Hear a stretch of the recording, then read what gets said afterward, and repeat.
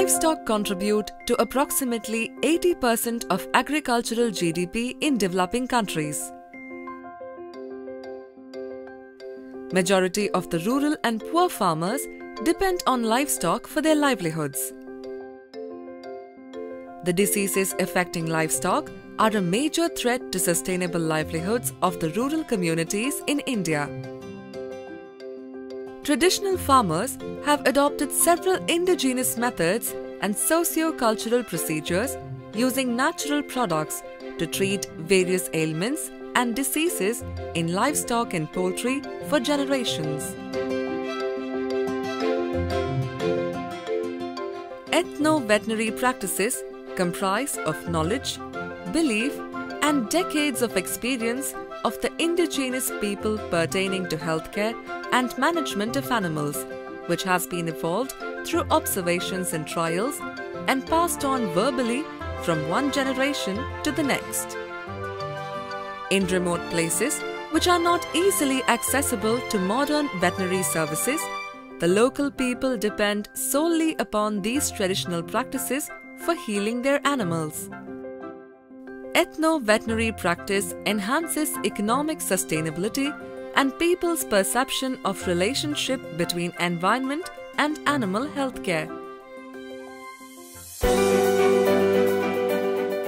Ethno-veterinary medicine has been in practice since 1800 BC. Ethno-veterinary medicines developed by local healers and traditional livestock farmers in field condition for centuries comprises of compound mixture of various medicinal plants and plant products namely leaves, seeds, barks, stem or roots which are locally available and cheaper than standard treatments. These medicinal plants and its products are indispensable sources of first aid medicine without any adverse effects or toxicity. They also serve as an ideal alternative to the conventional drugs with regard to development of microbial resistance and for providing safe food to the society. Medicinal plants and their medicinal properties is gaining importance throughout the world in both human beings and livestock since they have excellent curative properties for several incurable diseases like tumors, jaundice, paralysis, etc. India is home to more than 500 medicinal plants and has a rich tradition of cultivating and utilizing these medicinal plants in day-to-day life. The pharmacological basis of some of the plants and their ingredients are betel leaves,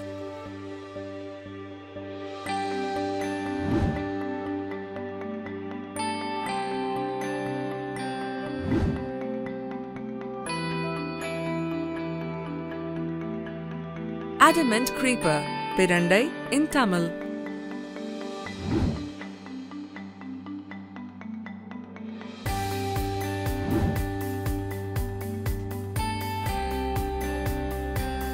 Onions,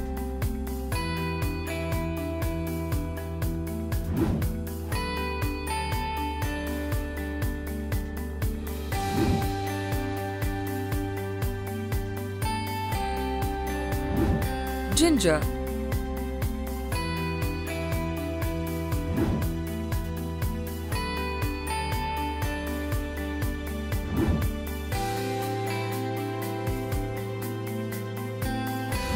garlic,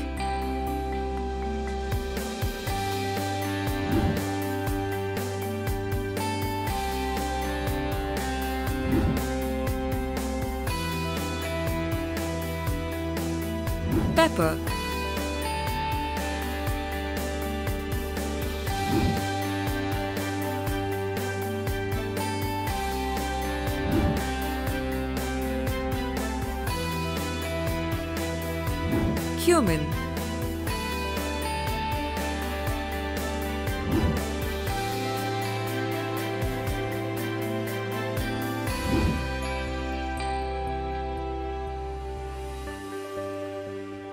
turmeric,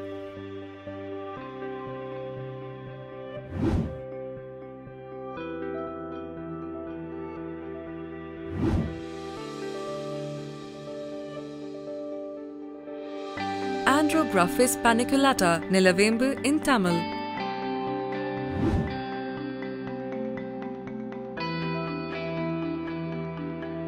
Tumbai plant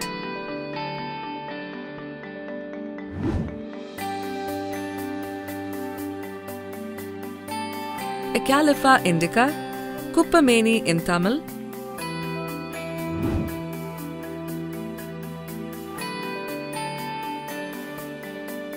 Tulsi leaves.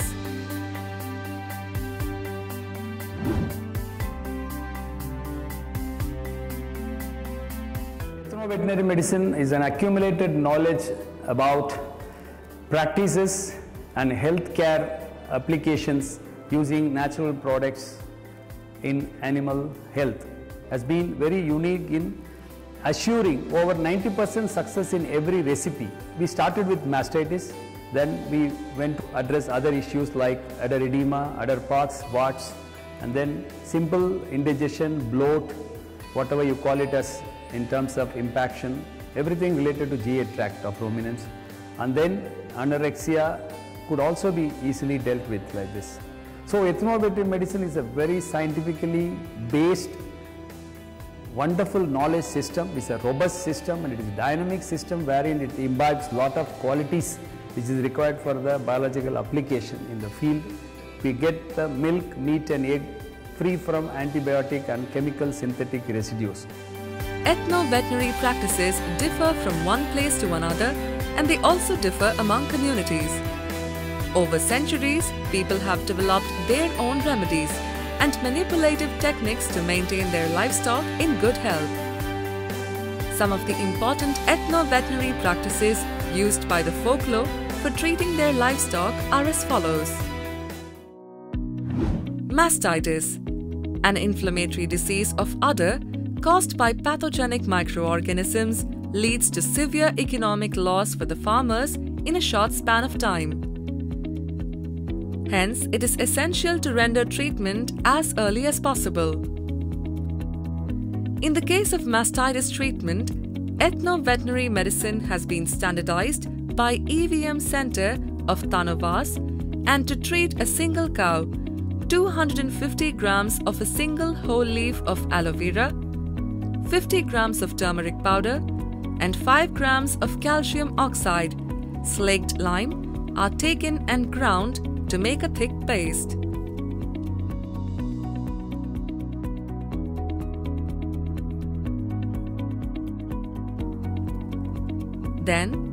Handful of the thick paste must be mixed with water to make a watery preparation which is brick red in color.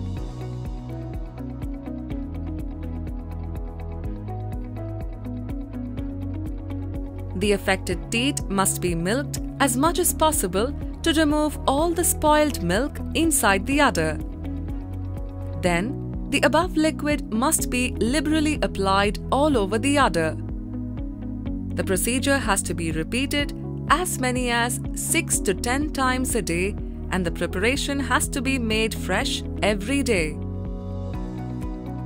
Udder pox is a contagious mild skin disease caused by a virus which affects the udder of cows and is characterized by pustular eruptions.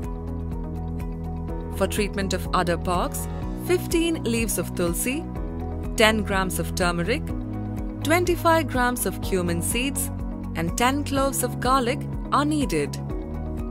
All the ingredients must be ground well and mixed with butter. It has to be applied frequently after milking the cows. Tympany or bloat is a predominant condition in cattle. The ingredients needed to treat bloat for a single cow includes 10 betel leaves, 10 tender stems of adamant creeper, pirandai, 100 grams of ginger, 15 cloves of garlic, 10 numbers of pepper, 25 grams of cumin, and 10 grams of turmeric. The cumin and pepper should be ground well and mixed with the remaining ingredients. Then, it is made into small balls by mixing with 100 grams of jaggery and administered once orally by impregnating with common salt.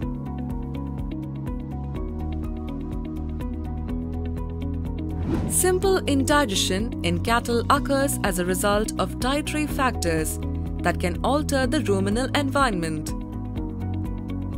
Ingredients needed to treat a single adult cattle or four members of sheep or goat are 10 numbers of betel leaves, 10 tender stems of adamant creeper, 100 grams of ginger, 15 cloves of garlic, 10 grams of pepper, 25 grams of cumin, 10 grams of turmeric, and 2 dried chilies.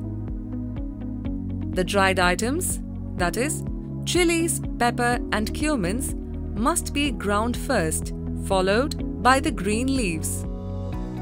Then they can be mixed together along with 100 grams of jaggery and applied over the tongue.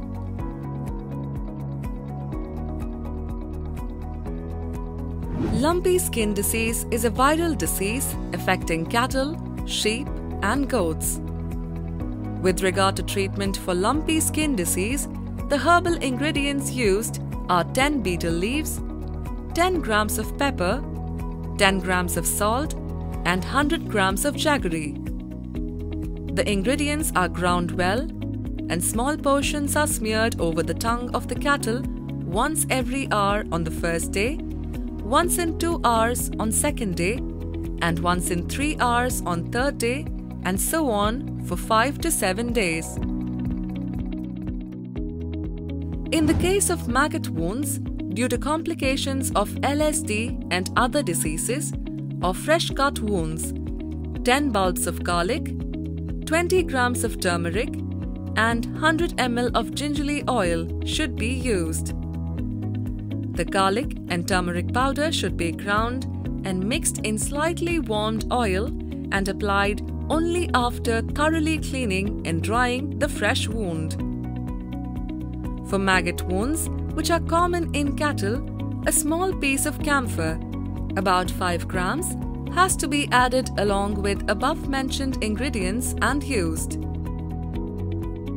For bovine ephemeral fever, necessary herbal ingredients needed to treat one dairy cattle includes 10 grams of cumin seeds, 5 grams of pepper, 5 bulbs of onions, 5 betel leaves, and 10 leaves of Andrographis paniculata, Nilavembu in Tamil.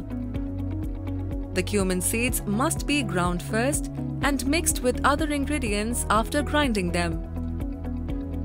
Then jaggery must be added and applied over the tongue. It needs to be administered twice a day for 3 days.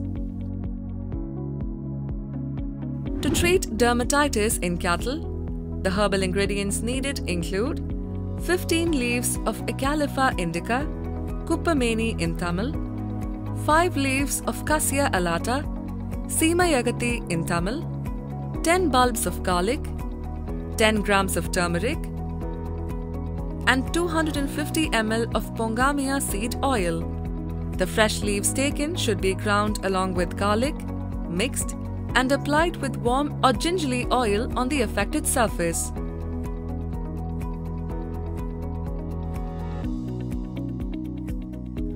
And mouth disease is a dreaded disease affecting cloven footed animals like cattle, sheep, and goats.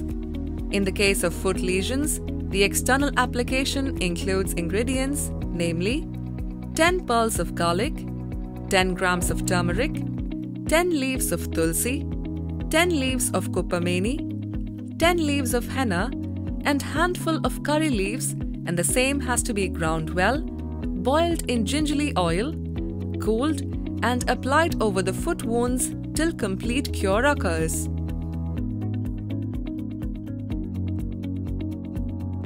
Infertility in dairy cattle and buffaloes occurs due to mineral deficiency, ovary related problems, failure of conception due to irregular estrus cycle, etc. Hence, to treat infertility, household materials and herbal plants like 2 numbers of radish, 2 leaves of aloe vera, 2 handful of moringa leaves, 2 handful of Cissus quadrangularis and 2 handfuls of curry leaves are used. Take one radish and smear over the common salt and provide wholly, one in the morning and one in the evening for 4 days. 1 to 4. For the next 4 days, 5 to 8, take aloe vera, just remove the thorns, dip in jaggery and salt and feed the animal morning and evening. The third ingredient is handful of moringa leaves, grind well and mix with jaggery and salt and apply over the tongue for the next 4 days twice a day, morning and evening. 9 to 12. Then, for the next 4 days, 13 to 16, take 2 handfuls of Cissus quadrangularis, pirandai, crush with jaggery and mix with salt and smear over the tongue of the animal.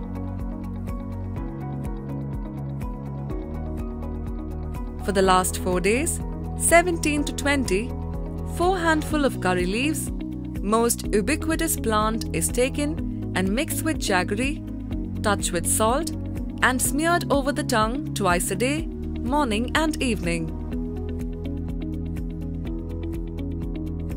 The most important point is that the above mentioned herbal treatment should be started preferably on the first day of the estrus cycle and to be given for 20 days continuously. In the case of poisonous bite of an insect or a small snake, 15 leaves from Leucas aspera, Tumbai plant in Tamil, 15 bulbs of onions, 15 leaves of Andrographis paniculata, Nilavembu in Tamil, 5 betel leaves, 10 pearls of pepper, 15 grams of cumin seeds, and 50 grams of common salt are needed. Cumin seeds and pepper are crushed well and mixed with the remaining ingredients to make a fine paste.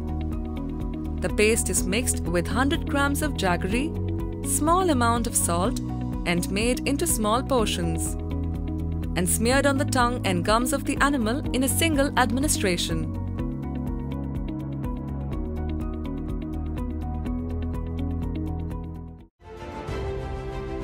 Ethno-veterinary medicine, which plays an important role in the animal health care system, is perceived as simple, cost-effective and environment-friendly. Many institutions and their scientists are actively involved in scientifically evaluating and validating the efficacy of ethno-veterinary medicines and practices as a first aid in livestock and poultry. In recent years, ethno-veterinary practices have gained importance and are being adopted by livestock farmers in many organic livestock farms to sustain the livestock in good health and for producing safe and eco-friendly organic produce to meet the increasing demands of health conscious consumers.